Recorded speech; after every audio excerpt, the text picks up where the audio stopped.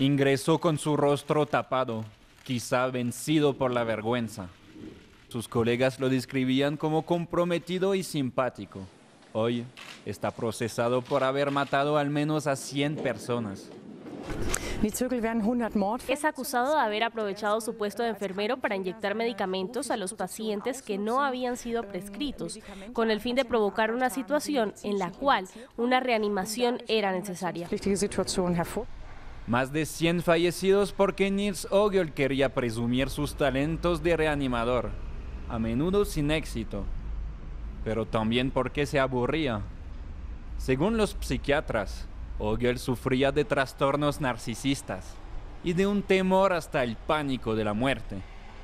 El enfermero confesó los 100 asesinatos, pero los investigadores evalúan que podría haber más de 200 víctimas lo cual es imposible determinar, ya que la mayoría fueron incinerados sin autopsia.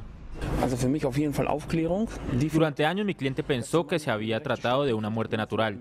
Ahora descubrimos que probablemente había sido asesinado. Obviamente es perturbador. Este juicio sin comparación cuestiona también la responsabilidad de los hospitales en los cuales Ogel pudo matar durante cinco años. Unos antiguos colegas y jefes tendrán de hecho que explicar esto en otro proceso.